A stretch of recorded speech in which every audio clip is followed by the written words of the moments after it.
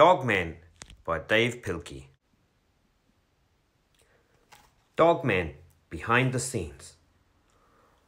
One time, George met Harold in kindergarten.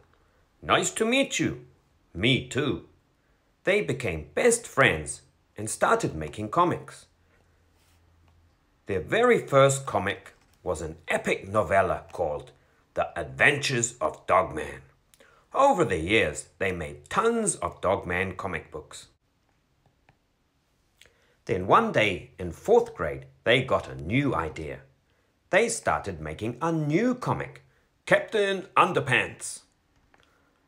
Soon their lives got really complicated. There was danger, horror, and ridiculously convoluted plot lines. And just when it seemed like things couldn't get any worse, things got better.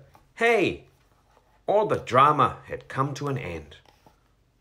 But there were still lots of unanswered questions. Where are our doubles?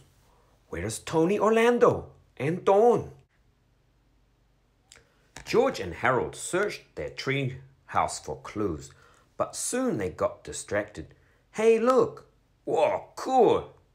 It's a box full of old Dogman comics, and we made when we were kids. Hey, I forgot all about these.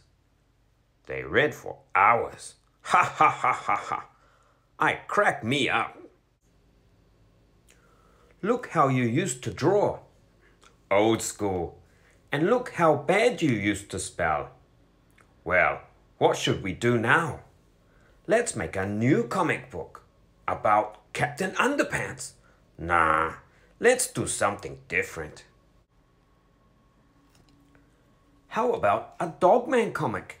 Okay. And together the two friends wrote and drew and laughed all afternoon. George tried to spell more better. Harold tried to draw more simpler. And thus Dogman was reborn anew-ish. Class! Enjoy it! Dogman, Chapter 1 A Hero is Unleashed by George and Harold. Dogman by George and Harold. Beep beep! Oh boy! My new couch is here. She's a real beauty, Chief. I know. We put it in, in your office. Thanks, fellas. I can't wait to be the first one to sit on it. Calling all cops! Come to my office! You can watch me break in my brand new couch. Oh boy, this is gonna be great. Hey, Officer Knight and Greg the dog.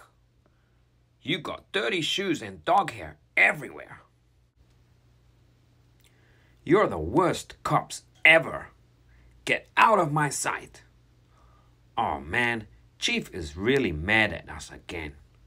I wish we could do something heroic to impress him. Uh oh. That cop and police dog are back. Who cares?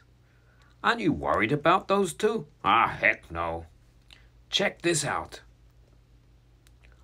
Officer Knight is a tough cop, but he ain't got brains. And Greg the dog is smart, but his body is his weakness. Yeah, but what if they work together? Hmm, that might be a problem. Fortunately, I've got a solution.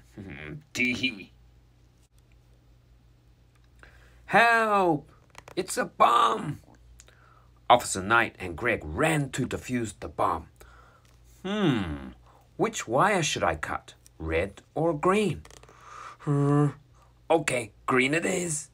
And so, snip! Kablooey! Oh no, I forgot dogs are colorblind. Wee woo wee woo wee. And soon, how do you feel, old friend?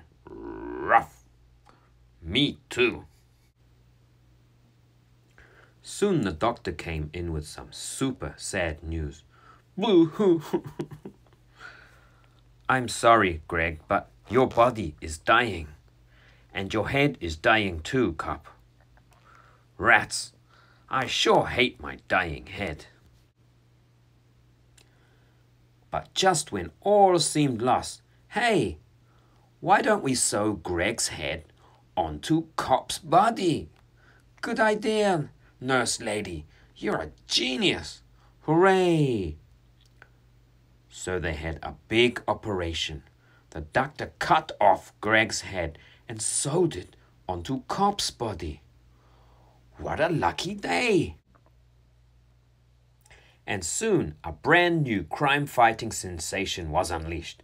Hooray for Dogman! The news quickly spread. Rats! I unwittingly created the greatest cop up ever. Fortunately, I know just how to stop him. The next day, well, well, well. So you're the world's most greatest cop, eh? Well, you better watch your step around here, bub. I'm gonna keep my eye on you. Well, what do you have to say for yourself? Get out of here! Poor Dogman's day had started out badly, but things were about to get worse. Ho ho ho! What's so funny? Today I'm gonna destroy Dogman once and for all. How? Tell me, what are all dogs afraid of? Hmm. Firecrackers. Well, yes, I suppose that's true. But dogs are also afraid of vacuum cleaners. I built this baby last night. Gee, I think firecrackers would have been easier. Who asked you? You did. Ah. This has thousands of dollars of the latest technology. Firecrackers only cost five bucks. Enough with the firecrackers. This is way cooler. And once I turn it on, it will chase Dogman. And it won't stop until he gets sucked up. Yee-hoo! Oh, dog man! Let's get ready to rumba. Go on and run. You haven't got a chance. This vacuum has a 6,000 horsepower motor and endless power supply. And the bag expands so it can suck up almost anything.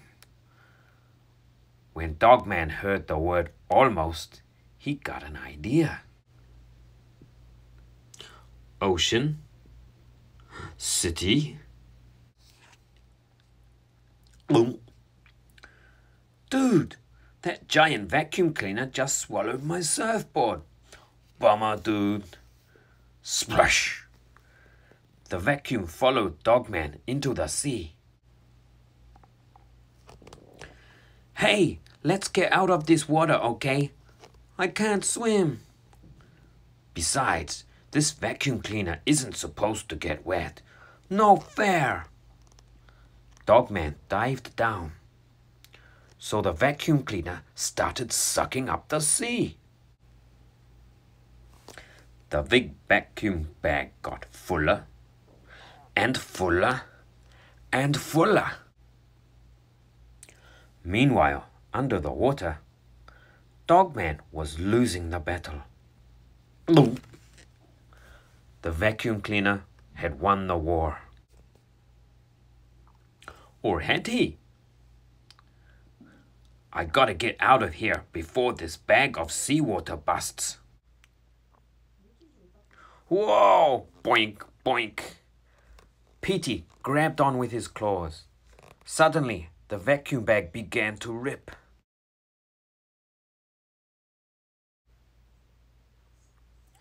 Petey got washed away in the super tidal wave. It looked like this was the end. Hey, you saved me. You're not such a bad guy after all. I've got one word to say to you. Click. Rats! The tidal wave got smaller and smaller until it ended at just the right spot. Hey cops, Dogman captured Petey. This calls for a celebration. For he's a jolly good doggy. For he's a jolly good doggy. Well, Dogman, I guess I was wrong about you. Put her there. Hooray for Dogman!